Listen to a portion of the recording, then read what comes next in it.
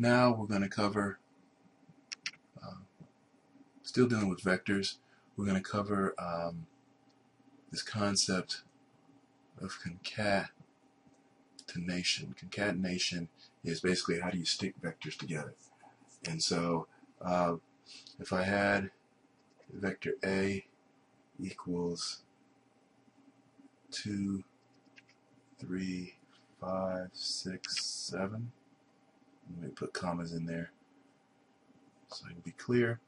Um, vector B equals 7, 2.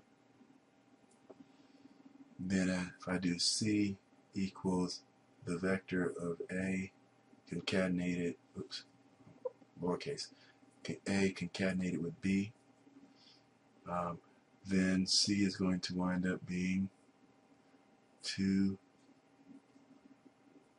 3, 5, 6, 7, 7, 2.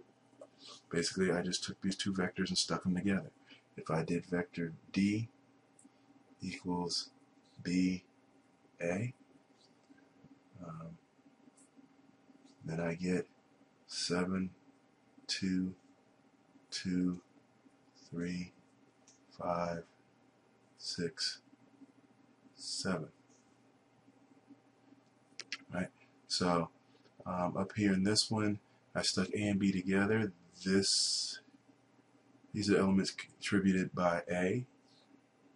These are elements contributed by B. Now it's all one big happy vector. Uh, change the order here. These are now the elements contributed by B. And these are the elements contributed by A. One big happy vector. Uh, so this can go on and on and on. Um, you can also do, um, if I did something that looked like this, let's say if I came back and said uh, E equals the vector 1 colon 4 comma 5 colon 5 colon 20 right? Uh, keep in mind these are all vectors so it's going to be 1 colon 4 is 1 2 3 4 5 colon 5 colon 20 is 5 10 15 20 there you go um, you can do it with linspace in there. Um, it's just all it is is sticking vectors together. Uh, you could even do if this is now vector E you could do vector F equals A indexed at 2 concatenated with uh, E indexed from 2 to 6 concatenated with B indexed at 1 and that would give you A indexed at 2 is 3 E from 2 to 6 this is 2 3 4 5 6 so that would be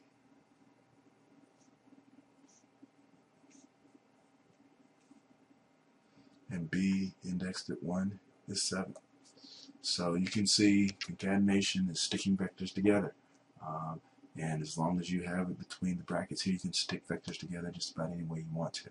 So that's the concept of concatenation.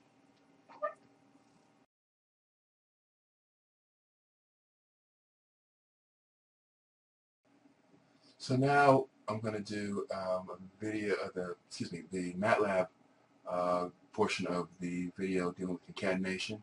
Uh, don't freak out. I have changed the configuration of MATLAB a little bit so that my editor and my command window are side by side.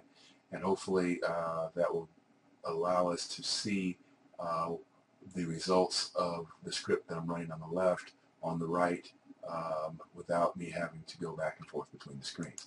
So let's give that a try. Um, start off with a couple of vectors. Uh, a equals the vector uh, 2, vector 2, 3, 5, 6, 7.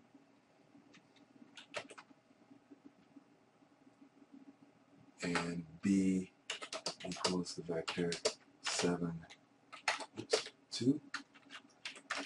And clean this up a bit and suppress both of these. You to see those over there. Um, and then let's do C equals the vector A, B. Now keep in mind concatenation is just sticking uh, two or more vectors together. And so this is going to make a new vector C with the elements of A um, um, first and then the elements of B second. So I've already saved this, so when I hit run, as I see over here, uh, we've got the 2, 3, 5, 6, 7, and then we have from uh, vector A, and then we have the 7 and the 2 from vector B. Okay? Um, we could do it in any order, so we could do B, A,